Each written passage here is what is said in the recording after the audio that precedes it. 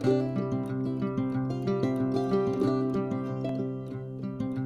parents, I have a favor and a reminder for you.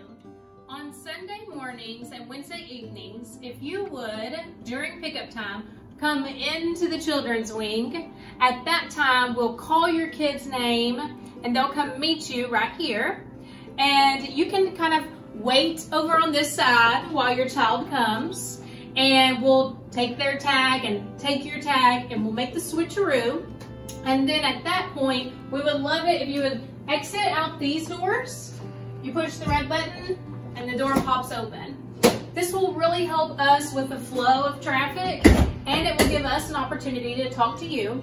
But the other really exciting thing that this will do is it will give you a chance to see some resources we've created. So we have a free reading section right here.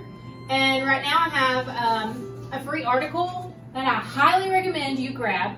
One, it's free, but two, it's going to help you talk to your kids about the gospel so that they don't always feel like they have to do works and church and be here, but instead, how can they really develop a true friendship with Jesus? So pick that up on your way out this Sunday or Wednesday. And then over here we have our new Denman Parents section and it has a few reminders for you. So that's what I need from you is I need your help. Come into the children's wing, say hello to me, we'll get your kid and then you can head out this way. All right, we'll see you on Sunday or Wednesday.